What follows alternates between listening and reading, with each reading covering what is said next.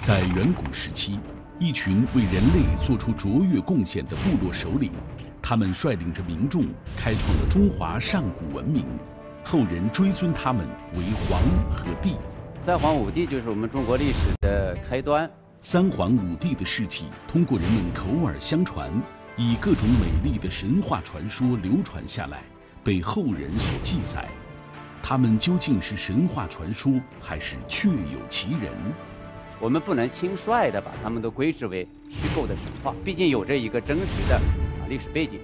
考古学者通过多年对中华文明起源的探索，能否为我们拨开传说的迷雾？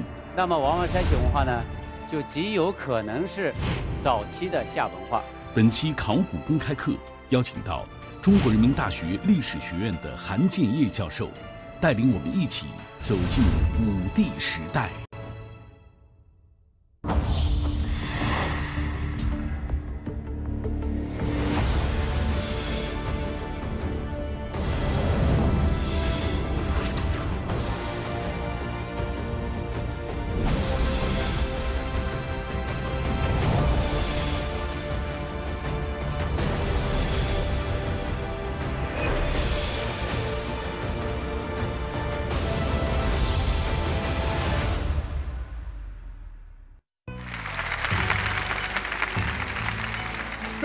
文明源远流长，切磋琢磨，考古论今。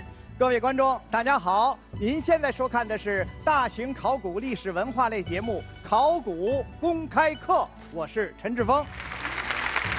今天来到我们考古公开课现场的各位观众，都是我们节目组面向社会招募的热爱考古的朋友们，欢迎大家。中国有句老话。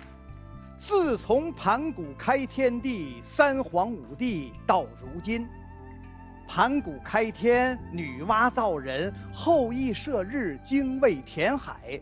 我们从充满浪漫色彩的神话故事中追寻着本民族的历史之源。伏羲演八卦，神农尝百草。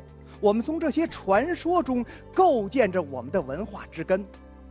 这些神话传说在岁月的长河当中口口相传，又被后世记录形成文献。那么几千年之后，我们有了考古学，我们能从地层中找到这些神话传说的踪迹吗？所以今天节目一开始啊，我想跟现场的观众朋友做一个交流互动。刚才我们提到了三皇五帝，啊，有谁知道三皇？指的是哪三皇？五帝指的是哪五帝？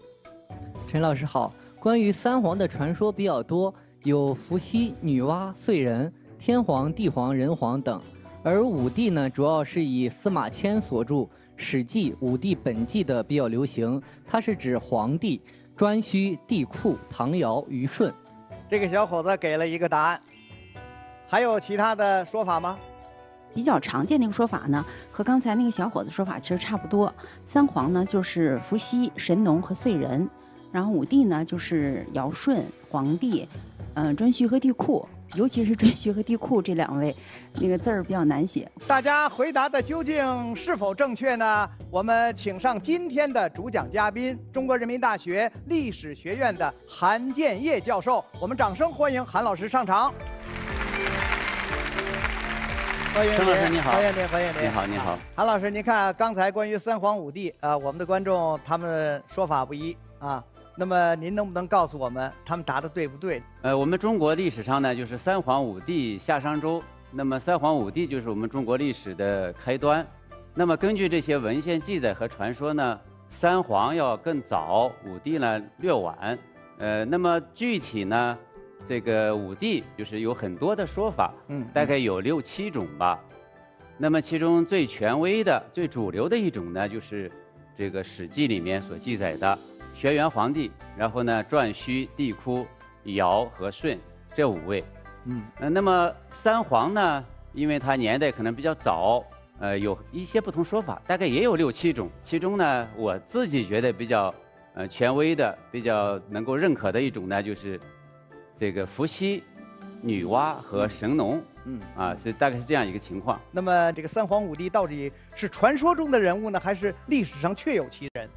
在古代的时候，在我们中国传统历史当中，大家基本上都是把它作为一个真实存在的啊，这个早晚的两个时期的人物去看待。哦，包括革命之后，我们最开始还有皇帝纪年，那都是可以去考证的，大家相信这个。嗯嗯嗯，但是呢，这个到了这个近代以来，国际上吧，可以说出现了对中国古史的一个怀疑。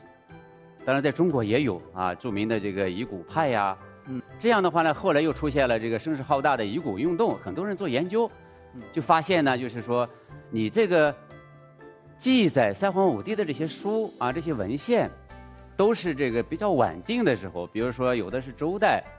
啊，呃，所谓的晚期就是春秋战国，有的甚至是汉代或者甚至以后的一些文献的记载。后人，对，嗯，他并不是说留下了这个真的伏羲女娲时候的什么文字，嗯嗯，或者有一本书啊，说三分五典留到我们现在，确实没有啊。这样的话呢，按照这样的一种观点，一种严谨的观点，认为这个东西可信度不大啊。这样的话呢，实际上很多时候大家就认为它是可能是，嗯。就是一个传说，就是个传说，就是个神话，啊，所以说是有不同的观点。我想这种不同的观点到现在为止仍然在国际学术界啊都存在，哦，啊没有形成定论。关于中国古史的研究啊，呃，以前我们主要是依靠着像《史记》啊这样的历史文献，是吧？呃，因为有了考古学，我们对中华文明起源的研究呢，可以说又有了新的手段。那么韩建业老师是如何走上中国古史的考古学探索之路的呢？我们请韩老师为我们带来精彩的讲述。考古学呢，主要是通过考古的调查和发掘，去研究古代的啊历史。我们也会参考文献，但是呢，我们的重点的研究，在这个和文献记载的结合这一部分啊，主要是历史时期。至少应该是夏商周以后，但是我本人呢花了比较多的精力去研究夏商周之前的这样一段历史，这可能跟我本人呢这个从小时候的兴趣有关系。我很小的时候可能跟诸位一样，就是特别喜欢听故事，尤其是古代的故事。我记着我看过一本我爷爷读过的民国时期的一个课本，上面有这个三皇五帝的这个头像。看着都是很神奇的样子，呃，然后我自己呢也读过一些像《西游记》呀，呃，什么《封神演义》啊这样一些现在叫神话小说，那都是我父亲呢从别人那个地方借来的。到了初中的时候，我自己用这个采药的时候啊卖的钱也订了一些杂志，买了点书，其中有一本书呢就是啊袁科先生的《中国古代神话》。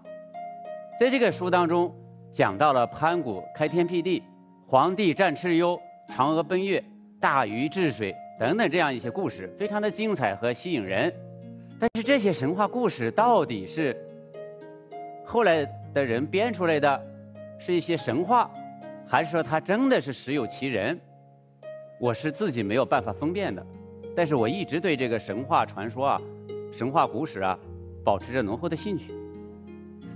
到了一九八七年，我考北京大学，当时呢就想报历史学，当然还有一个是哲学，但是那一年八七年呢，我们甘肃既没有历史，也没有哲学，有考古学，那我就报了跟历史学相近的考古学。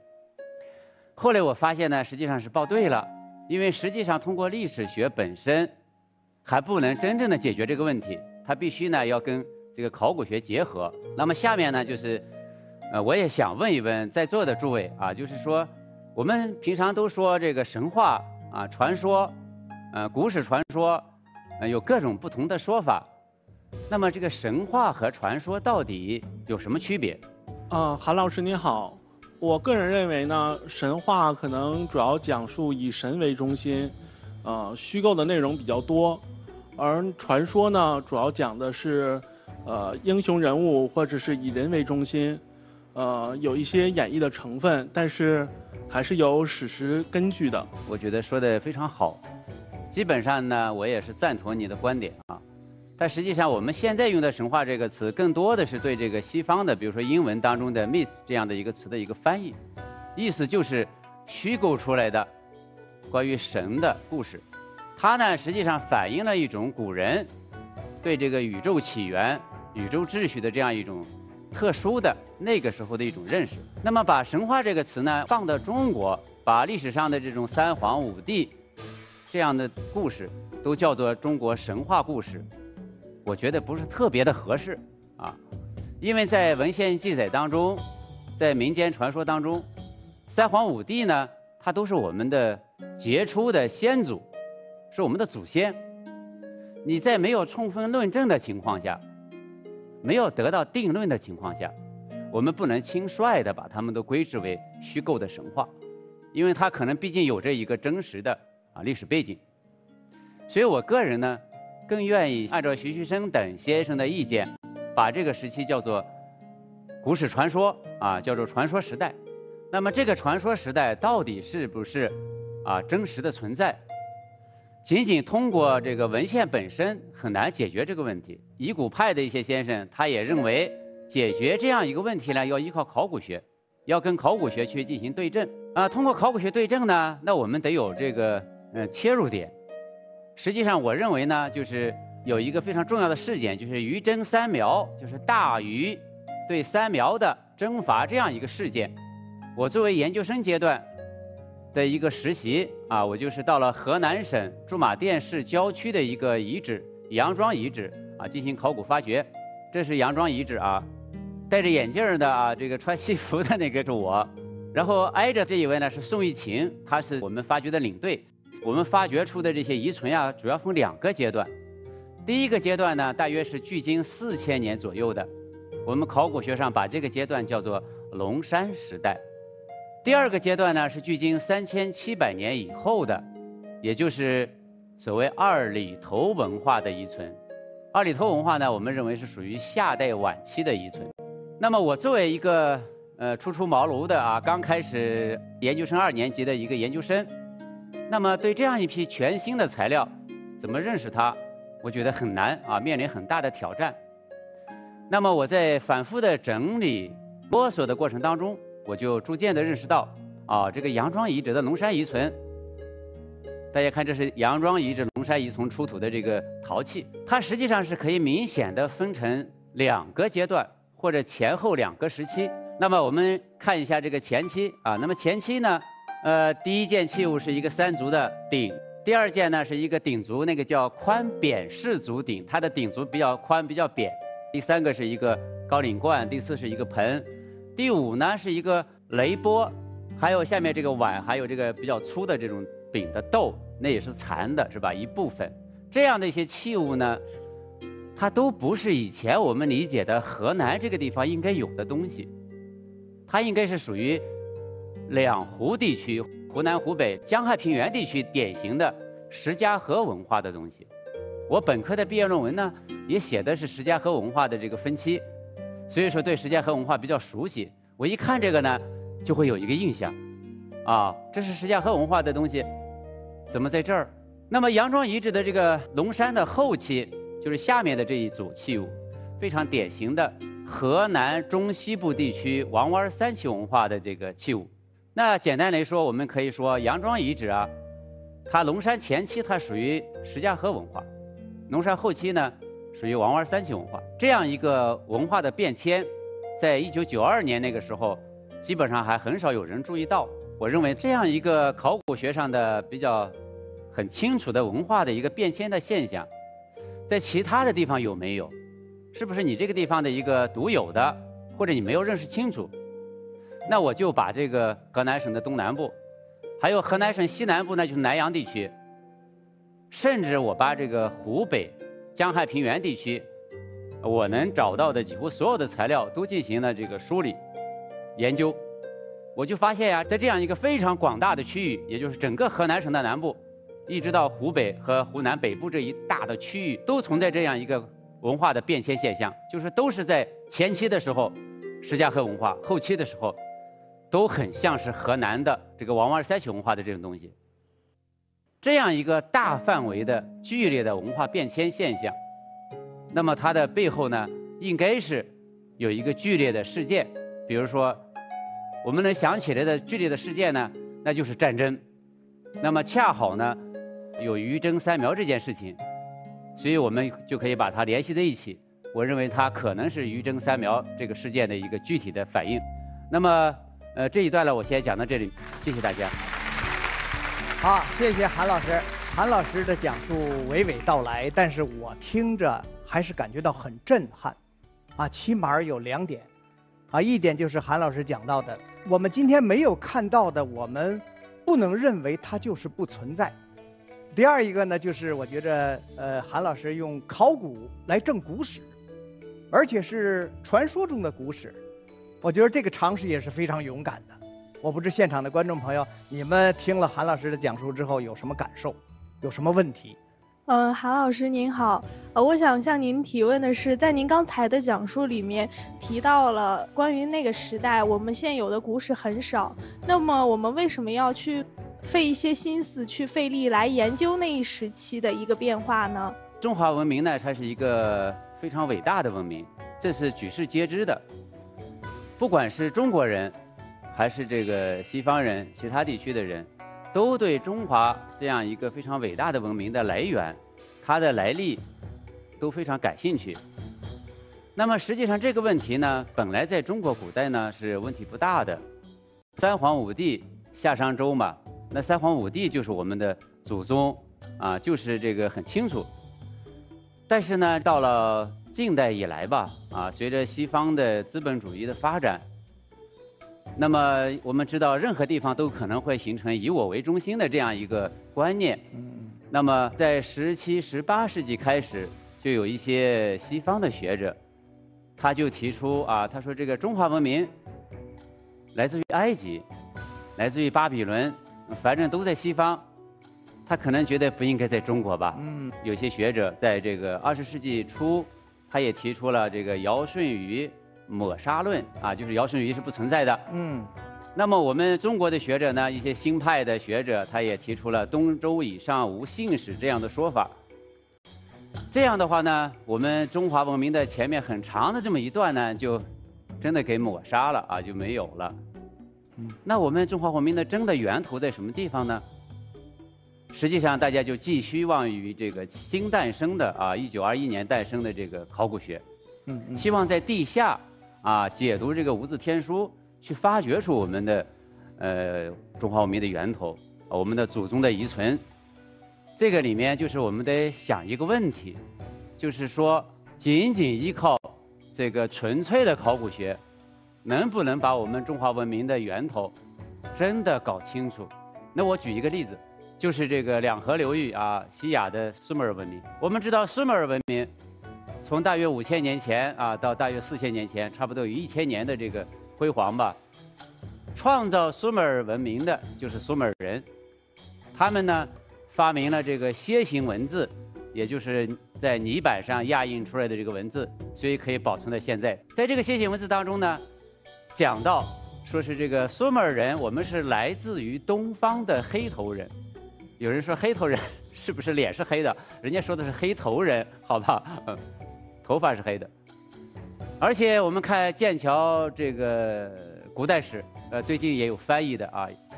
苏美尔的语言，它属于这个跟现在我们说的汉藏语系和这个阿尔泰语系最接近，跟这个两河等等当地的那个就是传说中啊这个神话当中跟亚当有关系的闪寒语系，还有北方草原下来的这个印欧语系都没有关系，没有任何关系。当然说，如果是没有这样一个文字材料，我们可能会很简单的就认为苏美尔文明一定是西亚地区，甚至欧洲地地中海地区的呃所有人的一个源头。有了文献证明不是。当然后来的这个呃赫梯也好，亚述也好，还有希腊等等，他们也确实继承了苏美尔文明的一些文化要素因素，包括他的楔形文字后面也会用。但是呢，毕竟那些人作为人啊，他是不同的人，所以我想呢，从这个例子上大家能看得出来，实际上你在这个中华大地上去发掘出这些遗存，确实需要有文献、有传说啊。我想我就这样回答你这个问题。您在刚才的这个讲述当中啊，也提到了一个传说或者叫历史事件，就是雨伐三苗，啊，这个让我们感觉到既陌生又震撼。这雨伐三苗在文献当中有没有记载？在墨子里面有这么一段话：昔者三苗大乱，天命既之，日爻消出，雨雪三朝，龙生于庙，犬哭乎市，下兵，地彻鸡泉，五谷变化。民乃大震，高阳乃命玄公于清拔天之瑞令以征有苗，四殿幼止，有神人面鸟身，若景以示，恶事有苗之降。这个降呢，徐学生先生认为是将啊，就是把他的这个首领给杀了。嗯嗯。然后苗师大乱，后乃随己，有这样一长的一一段话。这段话呢，实际上里面有一些字词，并不是我们现在都能够把它完全的了解，但是大致的意思呢，差不多。就是说，禹啊，趁这个三苗发生这个天灾、内乱的时候，突然的攻伐三苗，然后三苗惨败，退出了这个历史舞台。那么三苗内乱的时候，这里面提到日妖消除，那就是说晚上出太阳，晚上出太阳显然不可能，那应该是这个。黄昏的时候，本来太阳快下去了，感觉到晚上了，突然又出来啊，应该是一个黄昏时分的日全食这样一个景象，啊，这个在上世纪八十年代的时候，有美国学者就已经指出这一点。这个里面还讲到了，就是好像是有似乎是有地震，啊，有冰雹、洪水这样的一些自然灾害。呃，这是关于余征三苗的一个基本的一些记载。啊，不过有一点就是这个墨子啊，他离这个大禹。要这么算起来，也得有个一千多年吧？您觉着墨子的这个记载可信吗？大家可能很多人都有这个疑问啊啊，因为墨子他是东周时期的人，嗯。啊，离那个三苗的时候，东周时期两千多年，嗯，离这个我们说的这个时期，假如说是它是四千年左右，也得有一千多年的这个空间啊，所以包括这个也属于后人记载，后人记载。对。但到底这个后人记载是这个流传有序，到了墨子这儿时候呢，把它拿过来用，还是说墨子的时候，当时的人创造了这些故事？实际上，三苗啊，它呢就是我们换一个词，就是叫苗蛮啊，在呃文献当中经常讲到苗蛮，比如说在这个《战国策》当中有这么一段话：三苗之居。左彭蠡之波，右洞庭之水。这个文山在其南，而衡山在其北。那么徐徐生先生呢，就考证，他说这个彭蠡之波大概就是鄱阳湖这一带啊。然后洞庭之水当然是洞庭湖了，那就是它是在洞庭湖和鄱阳湖之间。衡山就不太好理解，因为衡山现在的衡山很靠南。嗯。但是徐先生认为这个衡山啊，应该是这个当时横着的山。那就是在他们以北就是桐柏山啊，就在湖北那边的啊。这样的话呢，我们就可以把三苗的分布区域画在这个洞庭和鄱阳之间啊，桐柏之南这样一个江汉区域。而且这个三苗呢，在文献当中也还提到他们有一些跟别人不一样的、跟中原人不一样的一些风俗。在《淮南子》里面讲，就是三苗呢，它这个头呢，它应该是用麻或者是布去把它缠一下。而中原人呢，他要戴帽子冠嘛啊，而且他要这个插那个发髻或者叫簪，所以这是有区别的。这里面说的中国呢，指的就是中原地区。另外的话，就是徐旭生先生呢，他在这个四十年代的时候啊，他有一本书叫做《中国古史的传说时代》。在这个里面，他把上古时期或者四五千年前的中国划成了三个区域，那就是华夏集团东边的这个东夷集团。然后长江流域的这个苗蛮集团，呃，另外一位先生蒙文通，啊，蒙先生呢，在更早的时候，他的《古史正微》这个书当中，把这个划成什么呢？他叫河洛民族、江汉民族和这个海带民族。这是呃文献当中关于三苗的这样一些啊嗯记载。那就是说，这个禹征三苗或者叫禹伐三苗啊，这个传说的历史故事可以这么理解，就是生活在啊中原黄河流域的华夏部落啊与生活在江汉平原的这个呃三苗部落发生了征战啊。大禹呢是华夏集团的领袖，他是带领着他的人去伐三苗，征战三苗，可以这么理解吧？对，那那接下来就要提这样一个问题了，就是为什么大禹要带着他的人马去伐三苗？凡是涉及到原因的问题，我觉得都比较难回答。嗯但是我们可以尝试着进行一个解读吧。因为于征三苗的这个时期，或者于伐三苗的时期呢，它正好是在夏朝建立之前最大的一次军事战争。我们当然可以把它看作是一次这个统一的战争。统一战争，当然这是个很大的理由啊。嗯而且在这个文献记载当中，华夏集团啊和苗蛮集团是多次发生战争。黄帝战蚩尤，未尝不可以理解成是嗯一次这个，因为蚩尤有的记载当中认为他是苗人的之祖，还有呢就是尧舜呢也都征伐过三苗，啊，所以这个舜舜征三苗之后要变异其俗，把他们的三苗的风俗要改变过来。嗯，呃，于发三苗可以看作是华夏和苗满两大集团斗争的一个终点。最终呢，华夏集团取得了完全的胜利，嗯三苗彻底退出了这个历史舞台。可能有人说，这个统一是不是就是个结果，是吧？嗯我伐完三苗以后，我就统一了呀，这只是个结果，不是原因。会不会有其他原因？那我们只能进一步的去这个推测。在上书当中说，这个三苗或者苗蛮，他制作了很残暴的五行，说这个苗民服用灵，啊，制作了五行，啊，那么服用灵是什么意思呢？就是他不用灵，灵就是灵气的灵。徐先生认为这个灵啊，就是华夏集团华夏人所拥有的那种特殊的宗教原始宗教风俗信仰这一套礼仪制度，他不用，嗯他跟你他跟你不一样，而且还做那么残暴的刑法，那不得征伐吗？这是个很好的理由啊。实际上这里面我们还有一个呃地学上的或者考古学上的证据，就是于发三苗的这个时期，大约是距今四千年或者四千一百年这个时期。那个时期呢，欧亚大陆的偏北方吧，有一个气候的著名的冷期，有人甚至把它叫做这个小冰期。嗯啊嗯这样就会使得北方地区的很多人可能难以生存。所以说，这个时期实际上中原华夏集团也遇到了问题，那么它就有一个往其他地方啊扩张啊转移一下这个矛盾啊，我要寻找更好的地方啊。而这个三苗或者苗蛮这个地方呢，它正好根据根据刚才说的墨子的记载，它是发生了这个天灾、嗯内乱嗯这样几个因素结合在一起，嗯我觉得这个，呃，下人或者大鱼看得很准，抓住时机啊，一举而下啊，大概是这样一个原因吧。通过韩老师的这番解析啊，我们大家了解了鱼发三苗，就是说在四千多年前的中华大地上，曾经发生的部族或者叫部落之间的这种大的征战，啊，可以这么理解吗？韩老师？对，好，我不知观众朋友大家怎么理解，还有什么问题？啊、老师您好，我想知道的是，当时双方在战斗的时候，他们所使用的武器是什么样子的呢？大家可能很关心这个问题啊。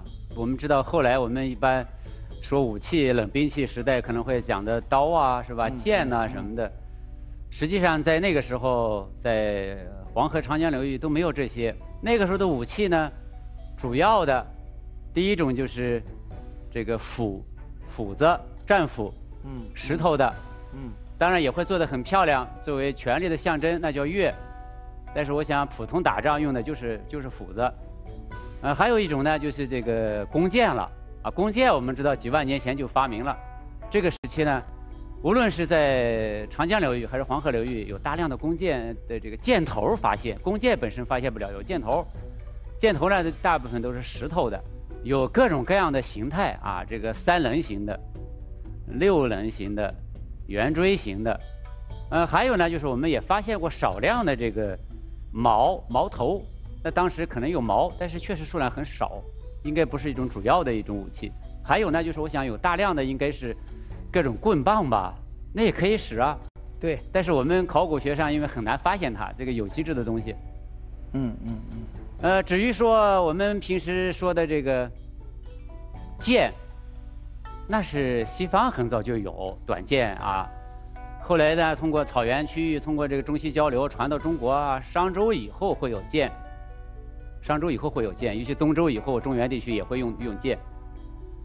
但是这个时候没有。还有呢，就是刀了。刀呢，实际上不管是西方还是在中国草原区域，还是说这个长江流域，早期的时候都没有把这个没有拿刀作为武器的这个现象。啊，这个刀呢，基本上这么长。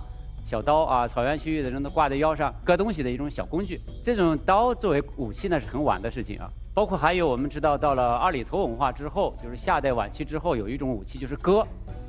戈大家知道，嗯，戈呢，那也是到了二里头以后才出现的，这个时期也还没有戈。嗯，所以我们想那个时候的战争，能用的武器，尤其在中国，嗯，还是有限的。感谢韩老师给我们带来的解答。我们知道了文献记载当中的语伐三苗，那么接下来我们更想知道的是怎么用考古来证实它。我们请韩老师为我们继续讲述。从考古学上，怎么样去对于征三苗或者于发三苗这样一个事件进行探索呢？那我们首先就是要搞清楚禹他所在的这个夏后氏。它有什么样的考古学文化遗存？而三苗呢，又有什么样的考古学文化遗存？得把这个事情搞清楚。夏呢，我们知道现在比较明确的，就是已经应该说是绝大多数的人能够承认的晚期的夏文化，那就是二里头文化。它的中心是在现在河南偃师二里头，是吧？二里头文化当然有很多的陶器，大苦尊呀，有这个豆啊。呃，花边口沿怪呀，有很多这样的陶器，所以它最能够体现一个族的它的一种特殊的文化风俗。那我们就正好要从这个陶器上面去看二里头文化它的前身从哪儿来的。它的陶器本身来看的话呢，它主要是继承了王王三旗文化的陶器。比如说，我们现在看一下王二三旗文化的陶器。那这个第一件呢是一个问，因为它的那个领呢比较矮。我们叫矮领问，这黑皮的一个灰陶，做的很精致。这个器物呢是一个盛储器，装东西的啊，问嘛就装东西的。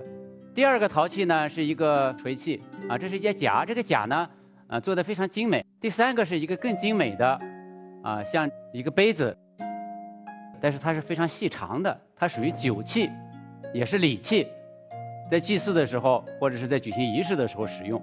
这个就是箍，我们一般把它叫箍形器。我们一看这个器物就知道，它这个社会不简单，它不会是日常生活中老百姓随便都可以用的东西，它应该跟仪式啊，跟这个呃一些庄重的场合有关系。王王三器文化其实最多的陶器呢是这一件啊，就我们叫吃口罐啊。但这个器物呢，在王王三器文化里面常见，在二里头文化当中也有类似的一个器物的发展的形态。呃，中间这个器物呢是一个折颜的器物，它下面呢。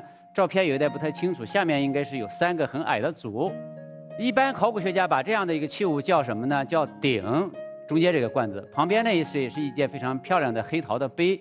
这种杯子呢也是属于酒器这一类，很精致的，表明呢王湾三器文化它的发展水平不低。所有这些陶器，甚至是百分之八九十的陶器，跟二里头文化的陶器都有渊源关系。那么王王三器文化呢，除了这些陶器。它还有呢，这个很多重要的啊，比较大的遗址，啊，比如说有这个河南登封的王城岗遗址，七十年代的时候就发现的只有那个小城，面积很小，啊，面积很小，只有一万多平方米。当时河南的安金怀先生就提出啊，这是于都阳城，大禹所都的阳城。大家说你这也太小了吧，啊，当然很多人还是相信的，但是这些年呢，又进行了新的。这个发掘工作也发现了有更大的这个城，这个城的面积有三十多万平方米。那么在里面还发现了一些这个夯土啊等等这样的一些可能跟高等级的宫殿等等有关系的这样的一些遗迹。除了王城岗城呢，还有一个城就是在河南的密县，呃，现在叫新密，有非常漂亮的城墙。那个城墙呢都是两种不同颜色的土夯起来的。啊，如果你把它做解剖的话呢，就会发现每一个方块的颜色都是不一样的，横着也不一样，纵着也不一样，非常讲究的一个夯土城墙。在这个城里面发现了有比较大型的这个宫殿建筑的遗址，还有一个遗址呢，就是位于河南禹州的瓦店遗址。瓦店遗址面积也很大，这里面也发现了很多重要的这个建筑遗址。我们可以得出一个结论：王湾三起文化，它是二里头文化的前身。二里头文化呢，既然是晚期的夏文化，那么王湾三起文化呢，就极有可能是早期的夏文化。下面呢，我们再看一下石家河文化，在这个长江中游地区、江汉地区，以这个江汉平原为中心呢。分布了一个考古学文化，就是石家河文化。因为石家河啊，它是整个这个文化的中心，它的发现跟刚才讲的王湾三起文化的这个面貌是不太一样的，或者说区别比较大。我们可以看一下，首先非常震撼的，这就是在石家河遗址里面发现的大量的这种红陶的杯子。这种杯子呢不大，十公分左右，它的数量呢是数以万计或者数以十万计或者更多。这种现象啊，在这个王湾三起文化里面是没有的，它是一种非常特殊的文化现象。我们从这个图上呢看得更清楚。我们看中间的那四个杯子，就是红陶杯。不同的发展阶段，从开始是比较薄、比较大，变得越来越厚、越来越小，到最后呢，变得就是说，里面就好像拿一个指头是吧，这么称一下、意思一下就行啊，就它有一个发展变化的过程。我们通过这个过程呢，也是去。判断它文化的年代啊，发展的早晚，啊，另外的话，在石家河文化当中，还有大量的这种红陶的陶塑。这种陶塑呢，有很多是各种鸟类，猪啊、羊啊，那像大象啊，各种动物，还有少量的这个人物的形象。这样的形象呢，大家知道，整个中国在新石器时代雕塑还是很少的，但是石家河文化的雕塑呢，就是一个特例，啊，它数量非常多。我想应该都是祭祀的时候。作为祭品，所以它应该是举行仪式的这样的一个遗留。旁边还有一件陶器呢，实际上属于石家河文化的一个，比它年代更早一些，叫屈家岭文化，也属于三苗或者苗蛮这个族系的，他们是一脉相承的。我们叫屈家岭文化的一个豆，我们叫双福豆，在黄河下游和长江流域比较流行这种比较复杂的陶器。在江汉平原地区呢，可能就是跟苗蛮有关系的，就是石家河文化。因为石家河文化的年代正好是距今四千年多一些，这样的话，我们就可以把两个东西对起来啊，就是说，王湾三起文化应该是早期的夏文化或者是虞的文化，而石家河文化呢，应该是当时三苗或者苗蛮的文化。下面的问题就是说，到了距今四千一百年左右，上面说的这种情况发生了很大的变化，整个江汉地区。还有河南的南部地区，在很短的时间内，比较突然的，这些陶器、这些遗存都发生了很大的变化。这些变化呢，我们可以从这几个方面去看这个变化。第一个变化呢，就是陶器方面发生的巨大变化。也就是说，这个石家河文化的陶器变成了类似于王湾三起文化的陶器。我们首先看一下这个图，所有的东西都是在石家河遗址出土的。上面的那一列呢，它是距今四千一百年之前的，就是我前面提到的，我们一看就知道是石家河的东西。下面呢是距今四千一百年之后的，这样的特征呢，跟河南的王湾三情文化是完全一致的。而红陶杯啊这样的一些东西就很少了或者消失了啊，所以陶器上有个很大的变化。这样的变化呢，实际上不仅仅是发生在这个江汉平原，江汉平原是核心啊，以前三苗的核心，它发生的变化是最小的，它的地方特色是最浓厚的，但是你们也看见了变化。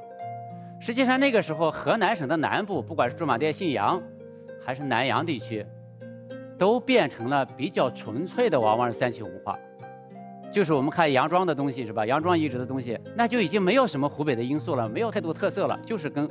啊，河南省中西部的东西一样，还有呢，就是湖北的北部，现在的这个枣阳啊、襄樊呀，这个北部地区，水枣走廊这一带，然后再往这边呢，就是湖北的西北部，嗯，十堰市等等这一带，都已经属于王湾三期文化。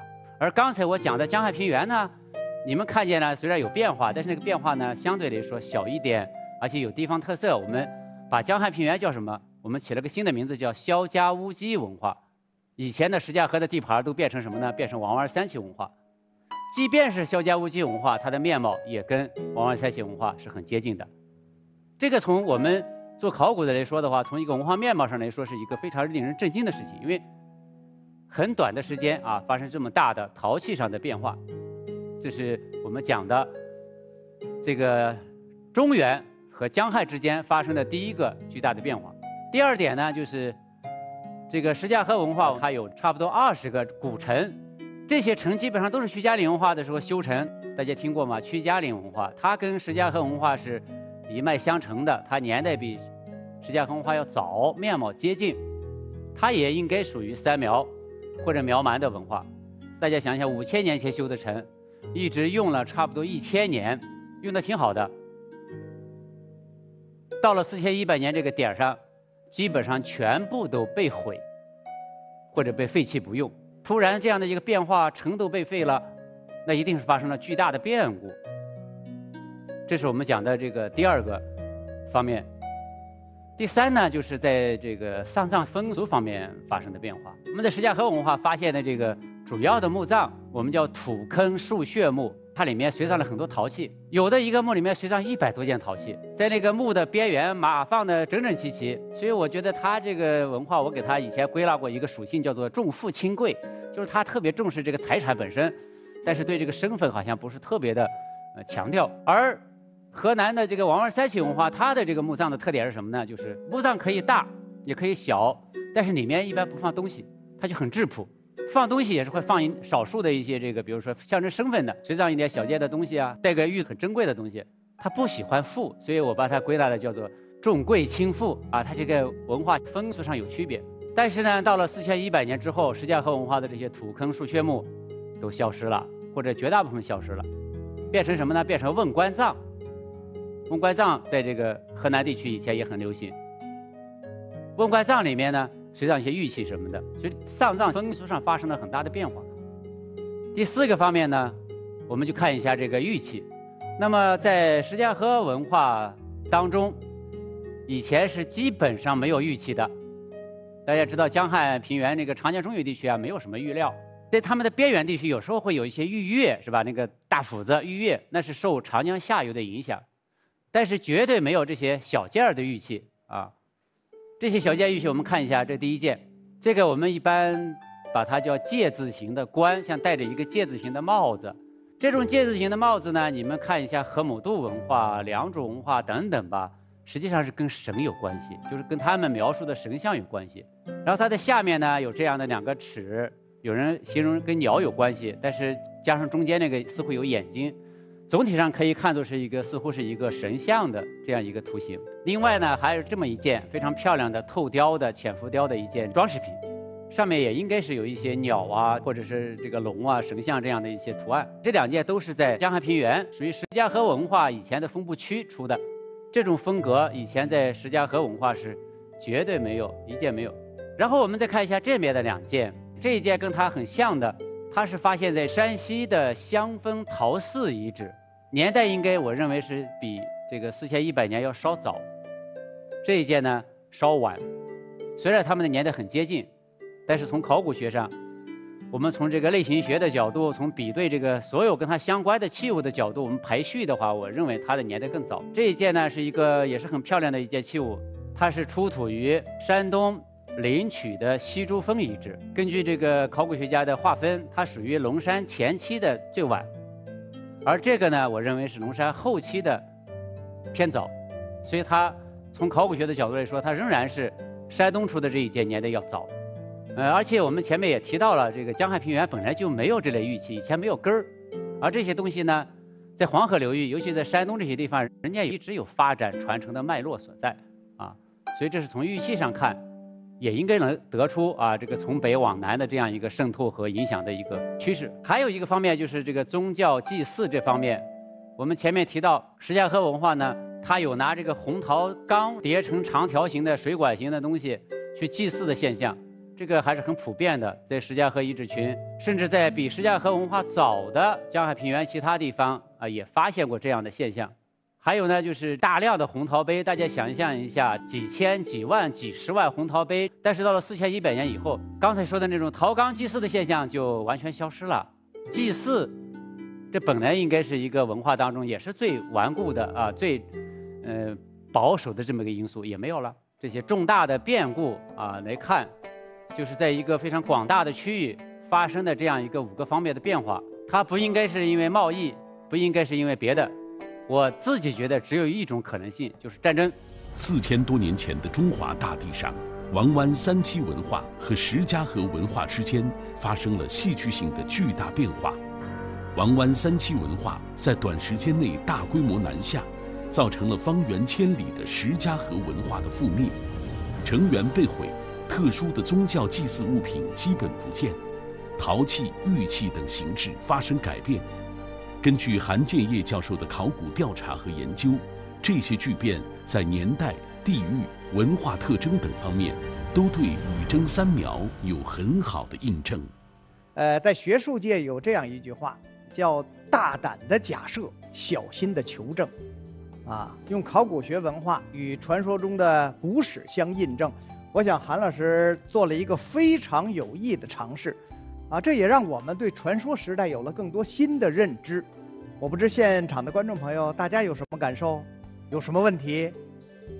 韩老师好，刚才您从两处遗址中的呃遗存现象，啊，让我们看到了文化巨变。那么同时也让我们看到了，啊，那这个以考古学来证实我们的这个神话传说时代的古史的可能性。嗯，那么呃，我想问的一个问题就是，呃，您的证实方法是什么呢？关于这个传说时代古史和考古学怎么样去互证，怎么样去通过考古学证实，主要的还是前辈们都已经做过的工作哈。就是第一点，就是你得承认，这个传说中的这些部族集团，他们有特殊的文化风俗，他们会留下比较特殊的物质文化遗存。表现在我们考古学上，那就是我们说的考古学文化，它会有这样一个原则，也就是说，传说中的这些部族和考古学文化有一定的对应关系，这是个前提。第二点呢，就是我们在做这种对证研究的时候，一般采取的办法就是叫做由已知推未知，就是有已知的比较确定的，然后往前再一步一步的推。比如说，我们首先得证明。晚商在哪儿？有了殷墟的发现，还有很多发现。我们现在知道晚商是没有问题的，对吧？河南的殷墟文化啊，那就是晚商时期的文化。都城也发现了。那你再往前推，早商在哪儿？那么早商呢？那就是说这个陶器上，很多风俗上跟晚商很接近的，这个以郑州商城和这个偃师商城为代表的，这样的我们叫二里岗文化。周恒先生，北京大学周恒先生等的研究，那先商文化就在现在的。比较早的在现在的河北，那个地方有很漂亮的陶丽等等，一直从延续下来到早上到殷墟，一脉相承，很清楚。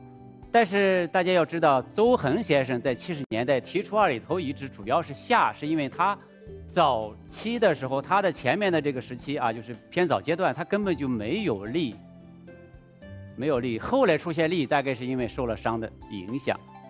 所以说，它跟这个商人有一定的共性，但是很多主要方面是不一样的。陶器系统是两个系统，它有一个逻辑体系，这样我们就有了一个往前再推的可能性。那就是我刚才讲到的，它往前推，它的前身是王王三系文化，王王三系文化应该是早期象文化。这样的话，就是有一个逻辑体系，这是从已知推未知，这是一个基本方法。我个人呢，就是说提出两种方法，一种叫做文化谱系。和这个族属谱系还有基因谱系互相这个，呃比较结合的，我把它叫谱系的这种方法。什么叫文化谱系呢？就是考古学文化，因为它彼此不一样，面貌不一样，它有一个谁是源头，谁是发展，谁跟谁是平行的关系，谁跟谁关系远，关系近，它有一个谱系，我们叫考古学文化谱系。另外，我们现在有这个 DNA 是吧？有这个基因技术，我们也可以研究人的血缘关系。虽然说这个血缘关系呢。呃，跟这个族属说你的祖先一定跟你是一个血缘吗？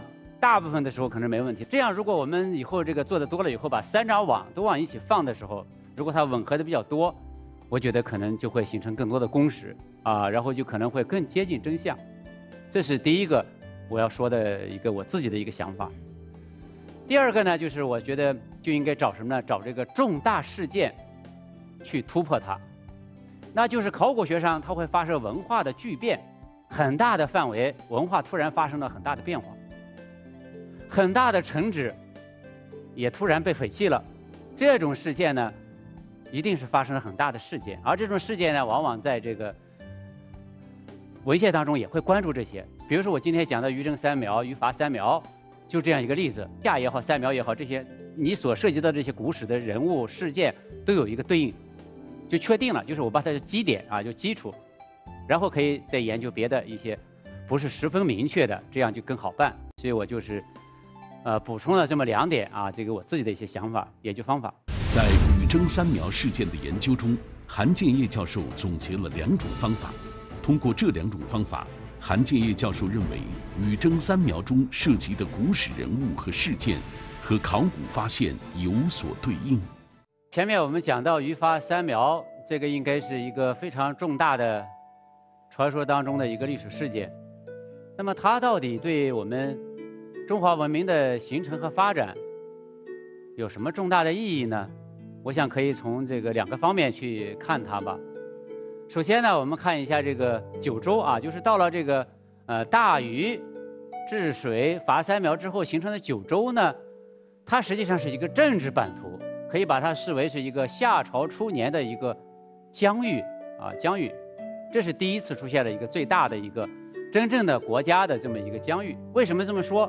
实际上在史前时期，在六千年前或者更早的时候。我们中国境内的这些文化，因为他们互相的这个交流融合，已经形成了一个很大的圈子。张光直先生把它叫做中国相互作用圈。啊，严文明先生说它是一朵盛开的重瓣花朵。我自己把它叫做文化上早期中国，或者早期中国文化圈。这个几千年前啊，六千年前就形成了。它怎么形成的？我们可以分析一下。大家看一下这个豫、冀和这个雍这三个州，可能还包括徐州的西部这四个州，属于我们考古学上的中原龙山文化。也就是说，仰韶文化之后，它发展成一个很大的一个这个龙山文化的群，叫中原龙山文化。他们彼此关系非常的密切。而这个中原龙山文化的核心就是刚才说的这个王湾塞秦文化、夏后氏。然后呢，就是那往那边看，徐州的这个东部。青州和兖州这一带呢，属于我们说东夷所在地，它可能是在黄帝战蚩尤之后，可能一统之后，整个黄河下游地区也属于跟它关系密切的这么一格局。然后呢，就是广大的扬州，以前有很强大的良渚文化，良渚文化的下限是四千三百年，我们现在讲的是四千一百年，已经没有了。这个地方当然还有很多人活动，也还有很多文化，但是呢，它是比较比较弱势。这个时期呢，是一个低潮。唯一的一个强大的敌人，就是在现在看见的荆，或者是江汉平原、长江中游的这个三苗或者苗蛮这一族。所以这样的话呢，从这个角度去看，于正三苗实际上是对于当时奠定夏王朝的版图，对于创建夏王朝有至关重要的作用。我们以往呢，就是一般讲什么时候我们进入一个成熟的国家，成熟国家我们的标志叫什么呢？叫做。王国时代，这是这个苏秉琦、严文明先生他们提的一个概念。什么叫王国？王的意思就是在中国最核心的意思就是要望天下，就是要普天之下莫非王土。我们现在所说的这个九州的范围，很有可能真的就是他当时实际控制的政治疆域、政治范围。那也就是说，他当时在那么早的时候，四千年前的夏代初期的时候，已经开始望天下。所以这是一个，就是于发三苗很重要的一个意义吧，就是它实际上。不光是奠定了夏王朝的版图啊，而且呢，使得我们中华文明由前面说的呃苏秉琦提出的叫做古国文明，就是一个一个的古国，迈进了王国文明的这样一个成熟文明阶段。这是第一点啊，就是我们说于正三苗的这个很大的一个历史意义。第二点呢，就是他对于正三苗这个研究对于呃夏文化的研究或者是夏的研究。有很重要的意义。呃，我们现在还有人在否定夏的存在，即便是这个相信夏存在的人呢，也有不同的观点。夏到底早在什么时候，在哪儿？那么在夏商周断代工程的时候，当时想了一些办法，比如说我们文献记载的夏王朝的延续的时间有四百七十多年，也有说四百三十多年。那我是不是就可以说根据碳十四的这个测年？然后结合这个文献的东西，把它呃定一个点呢？这当然也是可以的，但是也有问题。那到底是四百七十多年、三十多年，是不是四百二十多年也可以啊？这是一个问题。但是余震三苗这样一个非常大的事件，如果我们能够确定它的话，这就是一个一个钉子钉在那个地方。那么我们就知道哦，说在距今四千一百年余震三苗的那个之后不久，或者说差不多的时候，进入了夏代，这个年代就定下来了。至于说这个年代具体是四千一百多年还是四千零多少年，这个可以以后慢慢再研究。但首先这个点就定下来了，这样我们就可以把这个夏的研究有一些关键点能够确定下来，以便我们再做进一步的研究。也就是说，余震三苗的研究对于我们现在非常关注的啊，我们这个关于夏文化的问题，解决它有很重要的意义。通过今天韩老师的讲述呢，让我们对我们的传说时代有了更多的信心。很多故事或者说很多人物，也许真的存在过。同时呢，也让我们对我们的考古学有了更多的期待。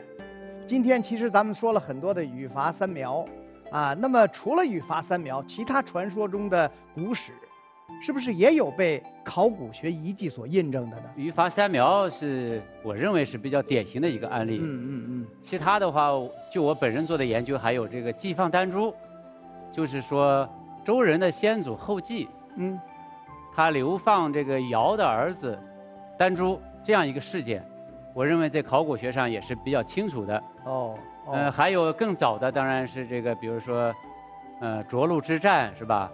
呃，黄帝战蚩尤这样的一个历史事件。呃，还有呢，就是比较具体的，比如说关于尧，他在哪儿？更多的人认同的就是说陶寺遗址可能曾经有一度是作为尧的首都等等，还有很多这样的例子。呃，我们可以以后再跟大家讨论。好，我们非常感谢今天韩建业老师给我们带来的精彩的分享，谢谢您，韩老师。求木之长者，必固其根本；欲留之远者，必浚其泉源。我们从蒙昧混沌中走来，裹挟着先人的珍贵记忆，薪火相传。那些考古遗存中闪现的智慧微光，正是中华文明出生的样子。以考古来证史，以更续不绝的史实来证明中华文明的坚韧卓越。考古让文明有了见证之力，文明让文化有了自信之心。好了，感谢大家收看今天的节目《考古公开课》，下期再见。